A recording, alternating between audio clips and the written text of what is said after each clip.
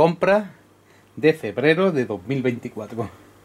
Y bueno, vamos a empezar con unas compras de Vinted, Vinted, eBay y otras plataformas similares. Y esta vez, pues una Tetris Nano, uno que es tipo mosquetón, mira, tiene aquí como si fuera un mosquetón. Y es simplemente pues una la serie Nano que salieron unos cuantos con juegos. Y bueno, la compré sin pila. Vamos a ponerle la pila.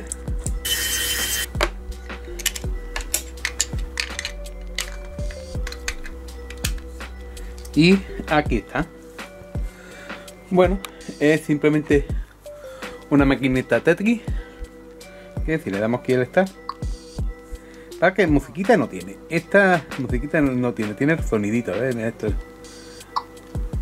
es pop. Vamos a hacer un efecto de sonidito. Y básicamente tiene este un lado, este otro lado. Para hacer líneas 7. es una vasija de 7 de 7 bloques. Para hacer líneas. Y bueno, es simplemente un, pequeño Tetris, por así decirlo. Tienen un Brigade. Sí, bueno, un Brigade son los chinos que se vende sin licencia de, de Tetris original. Por lo menos debería haberle puesto un poquito de musiquita, por lo menos al iniciar. Y mientras está jugando. Los más controles están un poquillo duros, pero vamos, eh, un Tetris de estos originales, ya está. Bueno, debería haberle metido algo más. Y bueno, esto por aquí. Vamos a quitarle las pilas para que no se surfaten. Y vamos a ponerle la taperita que no se pierda. Y esperemos utilizar el sonido por ahora. Una maquinita de Tetris. También compré la versión Tetris World de, de Xbox. La pasa que la, que con el viaje parece que se ha partido un poquito la caja. Bueno, buscaremos alguna cajilla ahí de que tengamos ahí usada. Y viene completo con su libro de instrucciones, su tarjetita de registro. Y el juego está en un estado, bueno, estupendo. Mira, tiene ahí un dedito por ahí porque lo han utilizado alguna vez, pero no mucho. Y aquí está. El creativo. También compré el, de NES Tetris de, la PlayStation. Me voy a pillar de Saturn, pero no, no eh, eh, de Saturn se dispara un, poquito. El PlayStation está más extendido y bueno, está en un estado bastante bueno, aunque la caja está reventadísima por, por motivos obvios. Estas cajas de cristal eh, se reventaban con gran facilidad. Son estas que se supone que debería durar más y fíjate cómo está, ya están cristalizadas muchas de ellas. Imagínate esta que ya eran cristal en sí mismo. Así que es lo que suele pasar esto, que esto va envejeciendo y se va partiendo todo. Y también compré una de la Super Nintendo que la vi más o menos barata.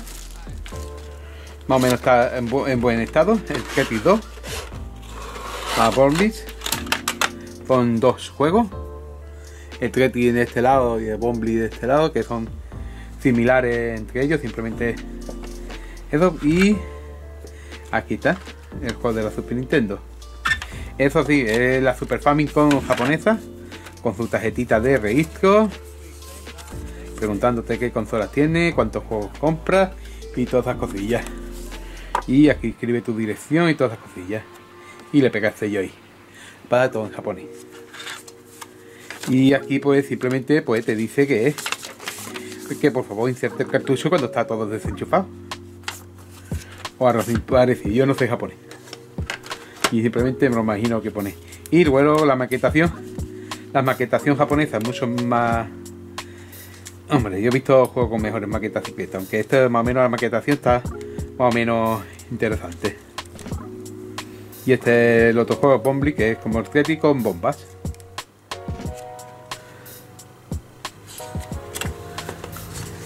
Y ya está, poco más. Así que esta vez ha, tocado un juego de Super Nintendo. Ay, va entrar. Bueno, de Super Famicom. Y ahora vamos a hacer con una plataforma un poquito más actuales. Y empezamos con la plataforma acuática. plataforma acuática, sí. Estos son los típicos juegos de agua que hay que canastar las anillas. Y esto no es un videojuego. Mm, bueno, lo estamos viendo como si fuera un vídeo y estamos jugando. Lo que pasa es que esta es plataforma de agua. Bueno, eh, entré a una tienda, lo vi a 1,55€ y me lo voy a pillar. Por comprar algo. Y compré esto. Aunque lo, que estaba en los años 80 era un poquito más divertido. Esto es simplemente una burbuja llena de agua. Vamos a sacarlo perfectamente del plástico este. Es capaz de venir caja de 25.000 máquinas de estas. Y luego aquí, eso. Para que no tiene, mira, aquí tiene botoncillo para, para rellenar, pero está como, como por el otro lado. Normalmente aquí en este botoncito que se ve ahí es donde se rellena el agua. Pero esto lo habrán puesto ahí. Vamos. Me he puesto un plástico aquí atrás, no tiene aquí el sitio para rellenar el agua. Esto se irá secando y para rellenarlo habrá que meter un destornillador, despegar estas cosas y sacar la burbuja esta o, o como fuere.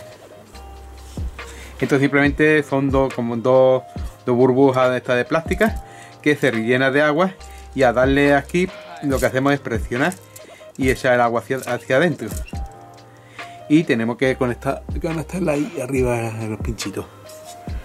Bueno una maquinita de agua. No, tengo mucha tengo que tener por ahí alguna. Pero vamos este es fabricado de ahora no, no fabricada de aquel momento. ¿Qué? vamos a seguir. Y seguimos con la plataforma EVKD este es el número 14 el Atari Link Collection. Me faltaba ya este ya era ya complicado ya pillarlo me lo tenía que pillar un poquito más lejos de la cuenta la Link Collection 2 este es de los más menos más nuevos el Home Computer Collection 1 Y este es el número 25, el Morca Game Collection 1. Bueno, y aquí este ya más nuevo, este es 31. Este es el 31 que salió hace poco de Zunsoft. Y así ya vamos completando ya el EVA 14, el, el, azul 05, el rojo 26 el rojo 31 y el rojo 14. Cuatro juegos para la colección de Abacade. Luego me pillé también estas dos maquinitas de Digimon. Vamos, una en negro y otro en blanco. Me falta la dorada. Y bueno, estos son máquinas Digimon. Son Tamagotchi Digimon. De hecho lo pone aquí, no que sea que eso, se pone como Tamagotchi Digimon. Y lo que hace es que tú crías tu monstruo y le vas dando esto y lo hace convertir todas las cosillas. Y aquí está. Ahí, sale todo. Y aquí sale lo que es el Tamagotchi Digimon. O oh, las pilas están aquí dentro y está ahí inflado esto. Esto. Aquí está las instrucciones. Y tenemos aquí pues cómo se emplea cómo se reemplaza la pila, cómo hacemos cada cosilla. Y aquí igual. Yo supuestamente que en varios idiomas. Ahí está. Uno de ellos está aquí en español. A ver. Eh, en el otro lado de español. Aquí dice. Pues activación reloj, cambio de pila, advertencias y todas esas cosillas. Y después aquí en el lateral es la, manera de conectarse, que se conecta, que se pone aquí los dos Digimon uno con, otro y hace transferencias de cosas, ¿ves? Por aquí tiene que haber. Bueno, básicamente lo tiene como aquí para transferir cosas. Que entrene tres, tres Digimon. Tres, tres. Nuevo sistema de combate. Esto para combatir. Nuevo sistema de. O sea, nuevo modo de misión. Y nuevo sistema de datos de potencia. Bueno, pues simplemente pues son para como si fuera un Tamagotchi que cría unos monstruos, por más o menos, los Digimon estos. Y como si fuera un Tamagotchi más o menos. Solo que tú puedes enfrentar uno con otro. Y aquí de esa manera se enfrenta un Digimon con otro Digimon. Si, es, si tiramos esto de aquí, pues activa. Ahí está activado. Este es el rojo. El otro este será el azul. Y el otro pues será el negro, será lo que sea. Entonces si pulsamos los botones. Aquí ya marcamos el acceso y empezar como los tamagotchi con un huevo. Bueno, un. Así que vamos a ponerle esto para que nos desgaste las pilas.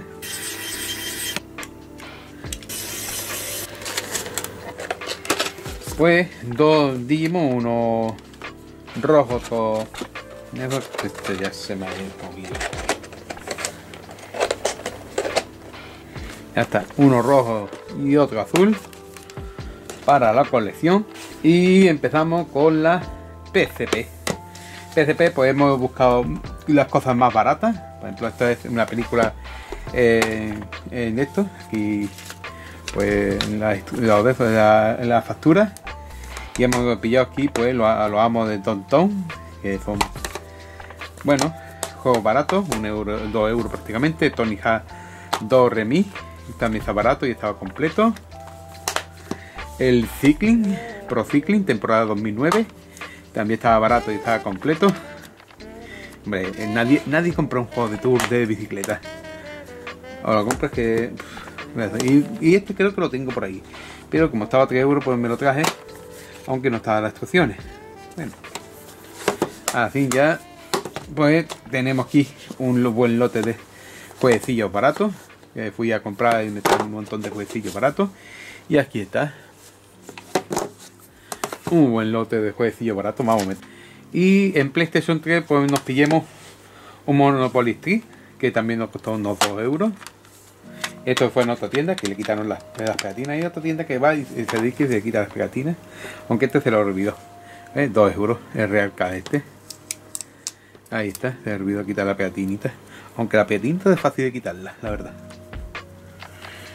y Monopoly 3 de, PlayStation 3 muy interesante para jugar este fue en Amazon el Scarabou que también cayó baratito o para adentro hay que está completamente nuevo esto fue ya donación de un amigo mío que tengo que decir los tengo ya uno de ellos el Halo 3 completo aquí está Vamos a estar con su post y todo.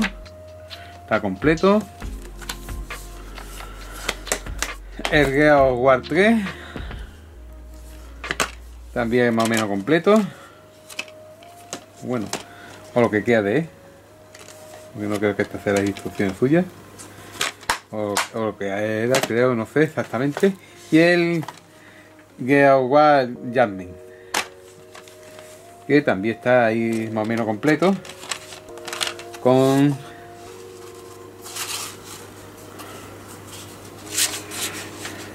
con su código sin rascar.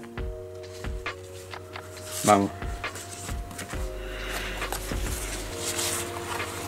Que está perfectamente completo. Total de equipo Live. Oferta limitada. Ahí está, el Jammy. Y ya últimamente pues un lote de juegos de Wii. Pues como estaba a 2 euros, pues estaban, eh, todavía están aquí los, precios, 2 euros. Le quité los precios de adelante, pero los de del lado no. Estaba cada uno a 2 euros. Este le falta dar la vuelta. No lo tiene puesto el precio, pero estaban cada uno a 2 euros.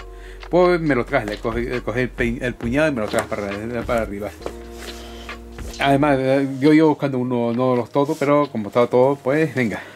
El Brick Game Academy for Wii. Completo. Con todo su librito. El juego está utilizadillo.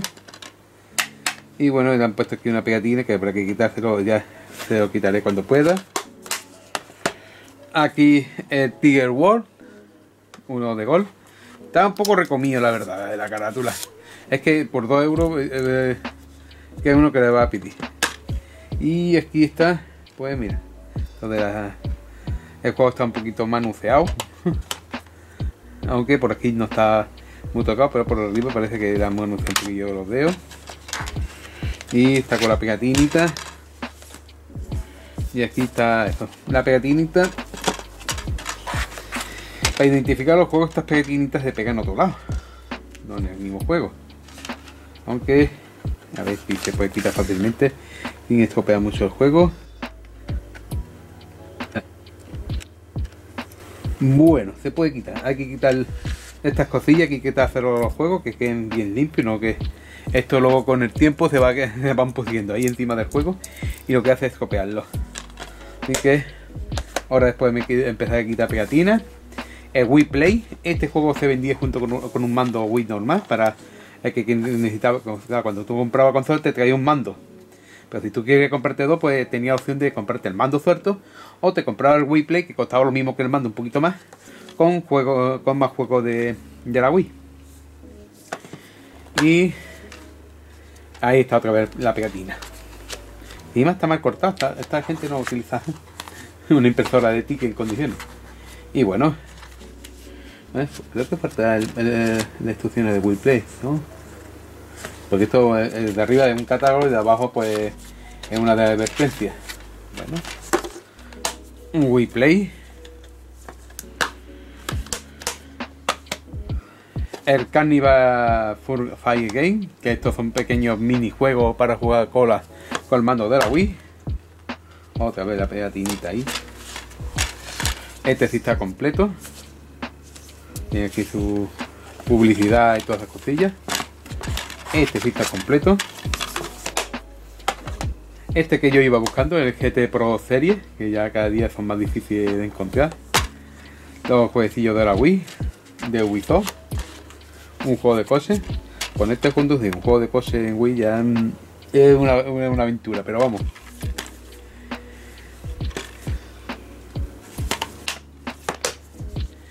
Y el Family Ski. Este utiliza el balance boa de Nanco. Y aquí está pues la facturilla que me costó todo a 2 euros cada uno prácticamente. Eh, la facturilla de, de los juegos. Vamos a dejarla así. Y ahora después ya guardar la facturilla donde sea.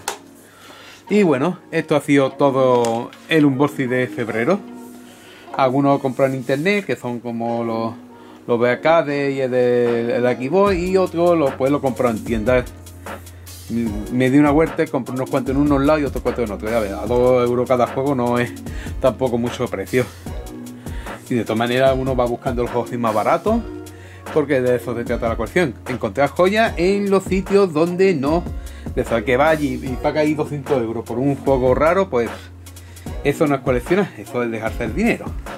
Para mi opinión, cada uno, eso, a lo mejor si te gusta un juego, pues lo compras, pero no es coleccionar mm, soltando la panoja tampoco es lo suyo y buscando y buscando por un lado, encontrando otro, y además dice, hostia, este juego lo encontré en, tal lado a tal precio, me, costó 2 euros. Y era un pedazo de juego, pues así. Eso, eso, así sí, porque cuando tú hablas con otro coleccionista, pues le das una experiencia, le das eso, hostia, Dios también quiero buscar este juego. Y lo que pasa es que al final todo el mundo buscando juegos y no hay juego para nadie. Así que si te gusta este vídeo, dale like, suscríbete y hasta otra. Adiós.